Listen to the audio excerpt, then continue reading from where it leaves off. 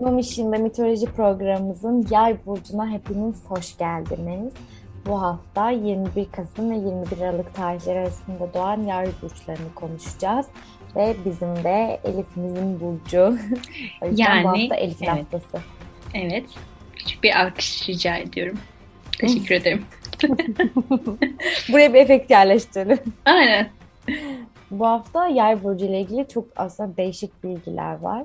Biz kendi burçlarımızla ilgili çok ümitvari olmuştuk ama terazi burcunda hüsrana uğrayınca yay burcunda hüsrana uğramaktan ben de biraz endişe etmiştim. Fakat yay burcunu araştırırken çok güzel bilgilere eriştiğimizi düşünüyorum. Bu yüzden ilginç bir inceleme oldu benim için birazcık size yay burcunun özelliklerinden ziyade yay kavramının yani bizim yay takım yıldızı olarak adlandırdığımız yıldız takım kümesinin e, nasıl oluştuğunu ve bunun yayı sembolize eden aslında sentörlerin neyi anlattığını birazcık görmekte fayda var diye düşünüyorum. Neyi temsil ettiğini görmekte anlamakta fayda var. Öncelikle Yay burcunu tekabül ettiği bu 21 Kasım ve 21 Aralık tarihleri uzun kış gecelerini ve hani işte artık bu doğanın tabiatın böyle kış uykusuna yattığı zamanı ifade ediyormuş. Ve daha önce hasat zamanını sembolize eden burçlarımızı incelemiştik mesela. Şimdi de hasatın sona erdiği ve artık hani kış mevsimlerini sembolize eden yay burcuna geçtik. Tabiatta artık hasatın bittiği işte üretilen ürünler paylaşılıyor. Tamamen bu hasat zamanı boyunca neler yapıldı, neler yaşanıldı. Aslında böyle yıllık bir Z raporu formatında hani neler yaptık listesi hazırlanmaya başlanıyormuş bu aylarda, geçmiş medeniyetlerde.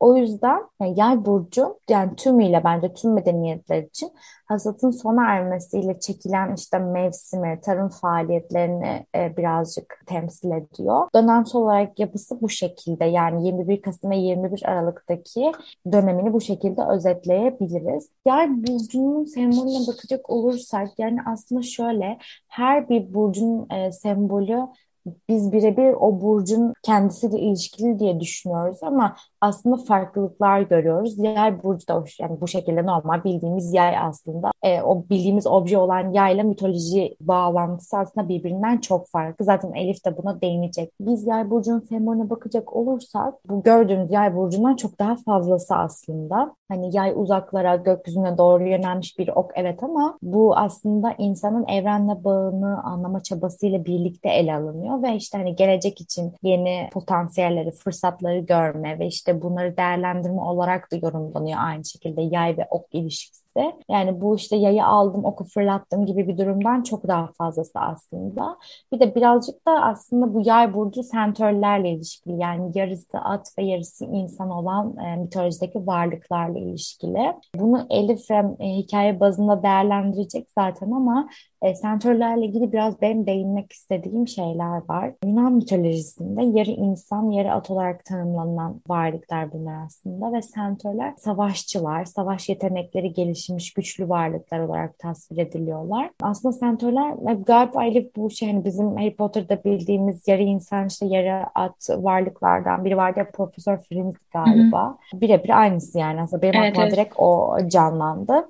Zaten Harry Potter'ın içinde de aslında çok fazla Yunan mitolojisine atıf var yani diğer mitolojilere de. Bu da onlardan biri. Ve ek bir bilgi verelim. Friends de Floransa demekmiş. Yani Floransa şehrini sembolize ediyormuş aslında. O da bir ek bilgi olmuş olsun. Yunan mitolojisinde bilinen en asil varlıklar bunlarmış. Elif'cim senin burcun sentörlerle çok ilişkili ve çok asil varlıklar oldukları söyleniyor. Başka ne olabilirdi ki yani? Ben çok şaşırmadım aslında ama arkadaşlar şaşırmıştır belki ama ben de çok şaşırmadım. Yani ne olabilirdi ki diyorum tekrar. yani o kadar e, asaletlilermiş ki hani insanlar bile artık santrallerin asaletini hani, ve bu asil oluşlarını kabul etmişler o dönem için. E, bunun yanında özellikler olarak yani baskın özellikler olarak çok bilgiye kişilikler olduklarından bahsedebiliriz. Ve savaş aleti olarak da çok iyi bir şekilde ok ve yay kullanırlarmış. Zaten hani bence buradan birazcık da atıf yapılıyor diye düşünüyorum ki bunu Elif'in anlatacağı hikayede daha net bir şekilde göreceğiz. Ok ve yayı da çok iyi kullandıkları için e, takdir edersiniz ki hani nişan almada üstlerine yokmuş aslında bu varlıkları ve aynı zamanda sezileri çok kuvvetli olan sentörlerin böyle geleceği görmek, kahinlik ve yıldızları okuyabilmek gibi değişik güçleri de varmış. E, işte bu Sagittarius takım yıldızının mitolojide yolculuklar sırasında rehberlik etmesi için de gökyüzüne yerleştirildiğine inanılıyormuş. Ama bunun daha detaylı bir sürecini zaten bize Elif anlatacak hikaye bazında ve çok merak ediyorum. Yani çünkü yay objesinin çok dışında bir şey olduğu için nereden geliyor, nasıl ve nasıl okumalıyız? Bu benim için çok önemli.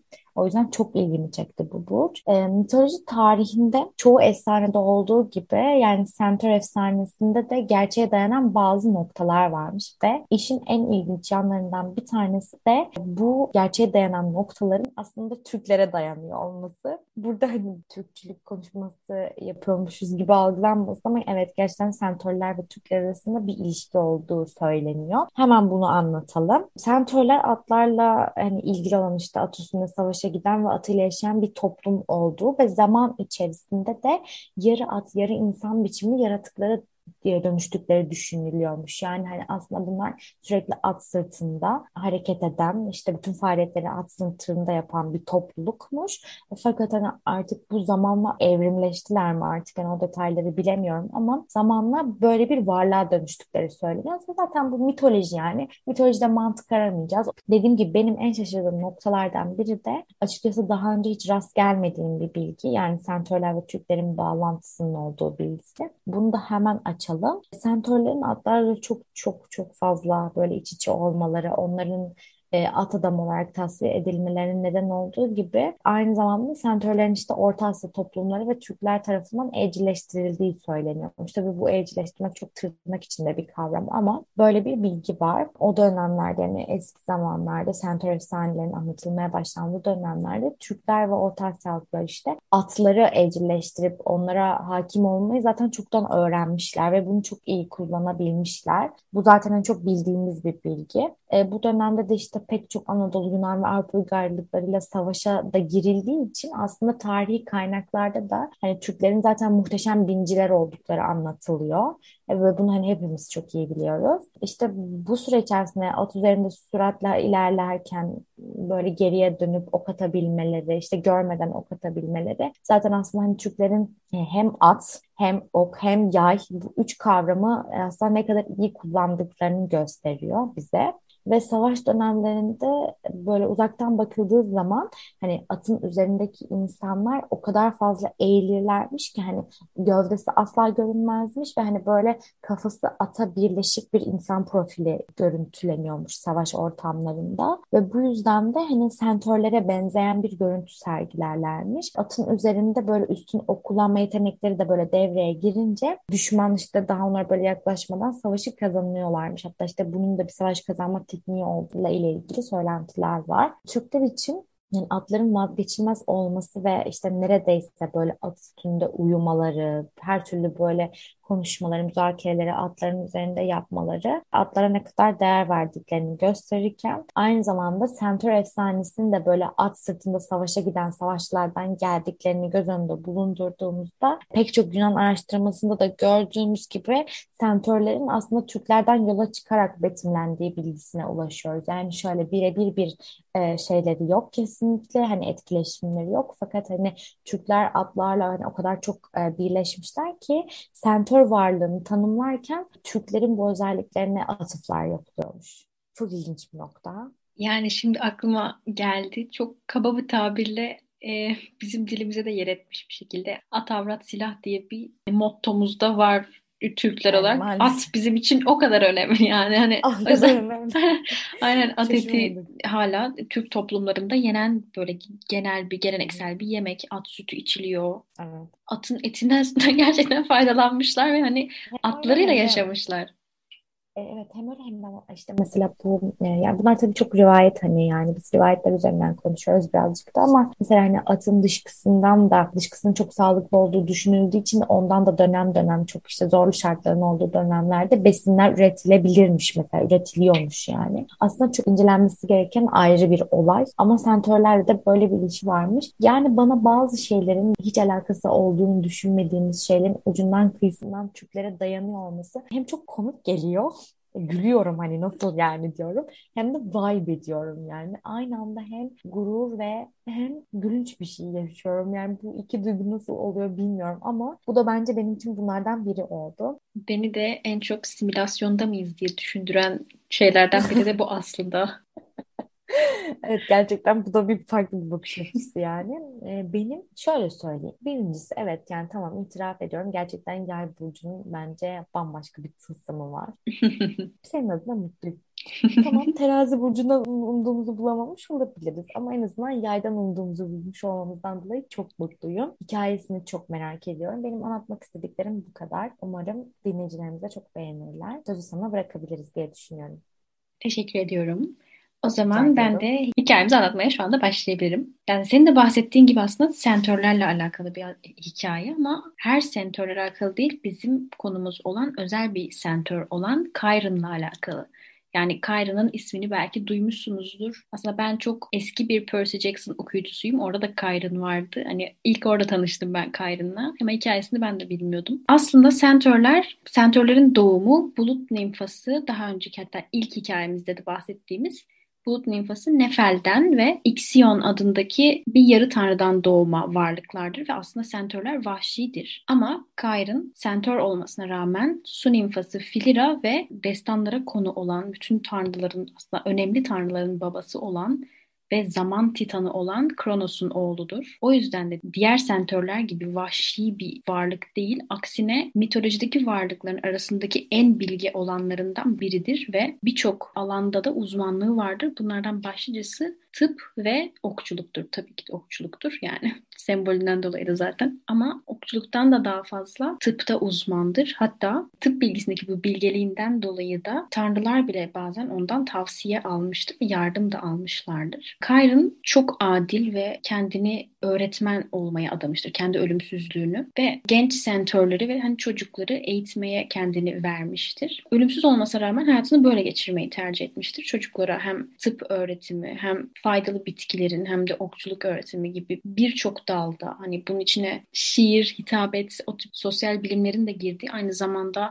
daha teknik bilimlerin de girdiği yani zaten çok da bilgi olduğu için bu tip şeyleri çocuklara adamakla geçirmek istemiş ömrünü. Yani bir ömrü yok aslında yani ölümsüz olduğu için ama yani böyle yaşamak istemiş ve o yüzden de aslında çok hani mitolojideki en bilge ve hani fedakar olarak da bilinen karakterlerden, canlılardan biridir. Aslında hani insan demeyeyim demeyeyim çünkü insan değil. Hayatını böyle fedakarlıkla ve kimseye zarar olmadan geçiren bir canlının da kime zararı olmuş olabilir diye düşünebilirsiniz ama mitolojide birinin başına bir şey gelmesi için zaten kimseye zarar olmayan masum biri olması gerekiyor biraz maalesef ki. Bildiğiniz gibi Herkül, Zeus'un oğlu olan yarı tanrı Herkül bir gün Kayra'nı zehirli bir okla vuruyor. Kayrın çok acı çekiyor. Yani çok zehirli bir ok ve tıpta bu kadar başarılı olmasına rağmen ve tedavi edilemeyen hastalıkları birçok şekilde tedavi edebilmesine rağmen bu ok yarasını ve hani zehirin acısını bir türlü dindiremiyor ve kendini tedavi edemiyor.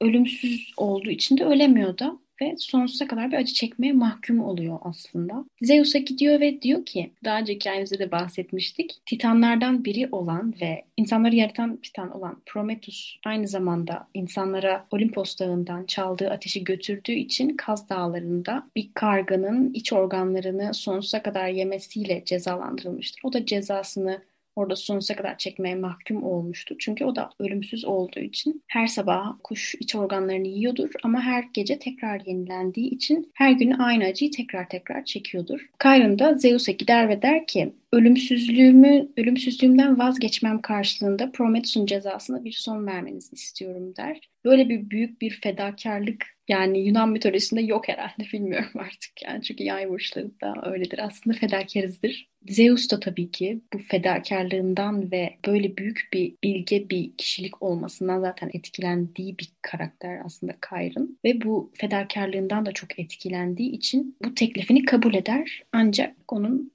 yok olmasına izin vermek istemez. Ve teklifini kabul ettikten sonra onu cennetine yani gökyüzüne gönderir ve aynı zamanda cennette sonsuza kadar yaşamasını sağlar. Yani aslında ölümsüzlüğünü almış olmuyor bir nevi. Yani onu bir şekilde de ödüllendirmek istiyor aslında fedakarlığından dolayı. Sembolü ok ama hem belki çok iyi bir okçu olmasına rağmen ok tarafından vurulması ve de belki de bu ironiye bir gönderme yapmak içindir. Çünkü aynı zamanda hem çok iyi bir tıp uzmanı ama kendini tedavi edebilecek bir bilgiye sahip değil. Hani sürekli bu ironilere zaten gönderme yapılmış Kayra'nın hikayesinde hem diğer sentorlardan daha bilge ama daha kötü bir kaderi var. Aslında daha iyi ama daha kötü.